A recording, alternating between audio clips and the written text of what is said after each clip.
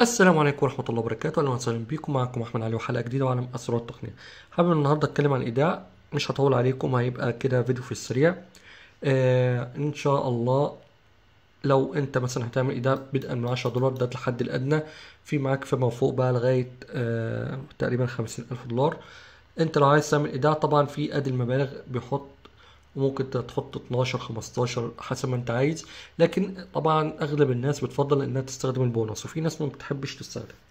البونص بيبقى مبلغ افتراضي بيتحط عندك غير قابل للسحب. ولكن لو انت حبيت تسحب قبل ما تحقق شرط البونص اللي هو إنك تعمل عدد آه زي ما بنقول صفقات معينة بحيث إنك توصل مجمل التداول لمبلغ معين ففي الحالة دي أنت ممكن تتنازل عن البونص. عندك البونص اهو في 25 في آه 300 في 20 في آه هنا 30% لو انت هتحط 150 هتاخد 45 دولار. لو انت هتحط آه 300 هتاخد 105 فلازم حضرتك لو انت محترف فهتعمل تداولات كتير هتقدر تحول فلوس كتير أوكي البونص مبروك عليك هيبقى مناسب ليك. لو انت مبتدئ وعايز في السريع تسحب من غير ما تعمل صفقات كتير بحيث انك انت مثلا داخل ب 10 دولار دبلتهم 10 كمان أو 20 وعايز تطلع يبقى موضوع البونص كده كده 10 مالهاش بونص ولكن أنا بقول لك كمثال فأنت موضوع البونص بالنسبة لك مش هيبقى مناسب.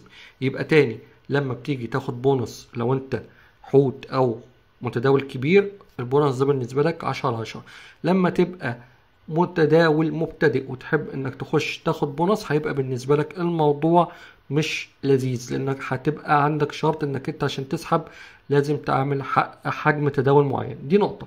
النقطة التانية في دايما بقول لك إيه دايما تحذير ولكن بعض الناس برضو بتتغافل عنه أو ما بتاخدش بالها. لما بتيجي تعمل ايداع لا تقوم بالايداع مباشرة إلى المحفظة. كل تلك الايداعات لا يمكن جدها واسترجاعها. يعني بقول لك من الأول كده هتعمل ايداع عن طريق المنصة هنا. أنت على دماغ من فوق وزي وزي الفل ومتفل عشرة مش هتعمل عن طريق المنصة هتعمل عن طريق المحفظة مباشرة. فانت كده فلوسك مش هيمكن استرجاعها وهتروح. معنى الكلام ده إيه؟ عشان تبقى فاهمه. معنى الكلام ده إنك أنت أنا دلوقتي دخلت هحول على Perfect فعندي على ال system سمع مثلا أنا حولت على محفظة كذا على Perfect ركز معايا. أنا حولت من المحفظة بتاعتي على Perfect اللي هو بتاع منصة آه Quotex فعندي المحفظة بقت مركونة أو محطوط الرقم بتاعها عندي.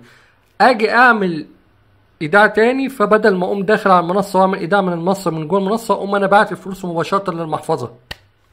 ده اللي يقصده. كده الفلوس bye bye. مش هتسمع في ال system ومش هعتبر إنك أنت حطيت فلوس. الإدارة المالية هتعتبر إن فلوسك غير قابلة للاسترجاع.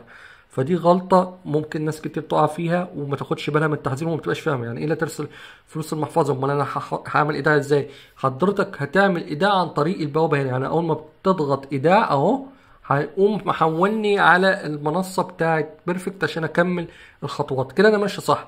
لكن لو أنا معايا أو حد آه يعني أنا عملت إيداع مرة وجيت المرة الجاية ومعايا الرقم بتاع محفظة Quotex وأقوم محول على رقم Quotex مباشرة على ال Perfect Money مش هيسمع ومش هعرف أسترجع الفلوس. يعني كده الفلوس دخلت آه المحفظة عندهم لكن هم على ال system ما سجلتش. فأنت بقى شكرا لك وهنيئا لك يعني. كده الموضوع منتهي.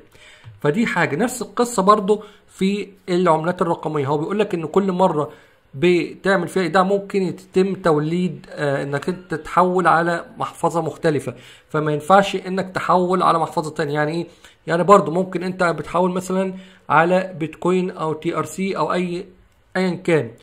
آه حولت مرة فما تاخدش بقى إن خلاص ال link تقوم واخده عندك وتقول لا أنا هحول عليه مباشرة تاني.